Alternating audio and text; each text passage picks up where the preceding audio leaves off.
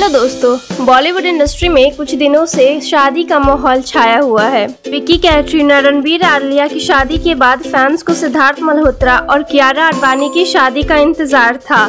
लेकिन फैंस को सिद्धार्थ और कियारा ने बड़ा झटका दिया। हाल ही में दोनों के ब्रेकअप की खबरें आ रही हैं। दोनों एक साथ शेरशाह मूवी में नज़र आए थे और लोगों को इनकी ये जोड़ी बेहद पसंद आई। बाद में इनकी रिलेशनशिप की खबरें आने लगी और दोनों को साथ में आते जाते स्पॉट भी किया गया।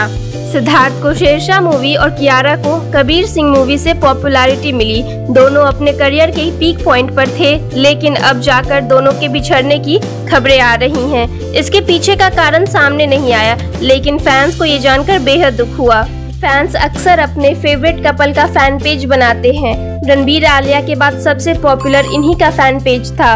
सिद्धार्थ और कियारा आपको कैसे लगते थे? कमेंट सेक्शन में हमें ज़रूर बताइए और कंट्रोवर्सी से भरी खबरों के लिए हॉट कंट्रोवर्सी को लाइक एंड सब्सक्राइब ज़रूर करें।